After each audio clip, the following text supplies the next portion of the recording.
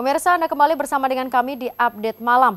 Satu keluarga di Surabaya, Provinsi Jawa Timur terjangkit suspek virus tikus atau leptospirosis. Bahkan satu anggota keluarga meninggal dunia diduga terjangkit dengan virus tersebut.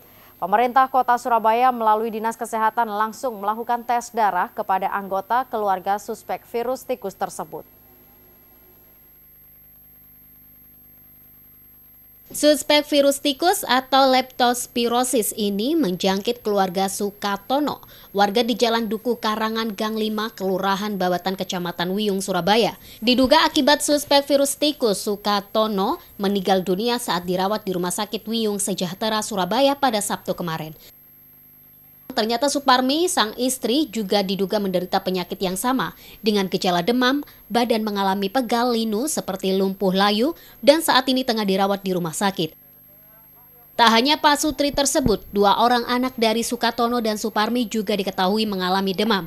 Akibat kejadian tersebut, Ketua RT setempat langsung melaporkan kepada pihak puskesmas dan ditanggapi oleh Dinas Kesehatan Kota Surabaya yang langsung melakukan pemeriksaan kesehatan dan tes darah bagi keluarga suspek virus tikus. Setelah Pak Sukat itu meninggal dunia, kemudian saya dapat kabar dari rumah sakit itu bahwa ini ada kemungkinan terjangkit virus atau bakteri yang berasal dari tikus itu. Hmm. kemudian saya sampaikan ke perawat yang di sana itu, Mbak ini istrinya juga sakit di rumah dengan ciri-ciri ya hampir sama dengan Mbak itu. Gitu.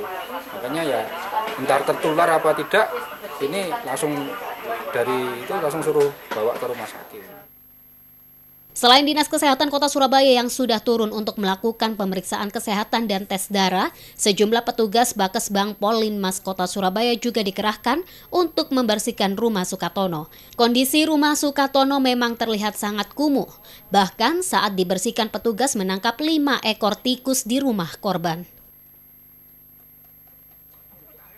Kita berikan sosialisasi kepada warga tentang bagaimana penyakit leptospirosis, bagaimana gejalanya, penyebabnya seperti apa, sehingga kalau misalnya ada uh, di sekitar rumah situ yang gejalanya seperti itu, berharap langsung segera periksa. Menyikapi kasus ini, Dinas Kesehatan Kota melalui Puskesmas Kota Surabaya langsung melakukan penyuluhan kepada warga untuk menghindari penyebab wabah virus tikus tersebut.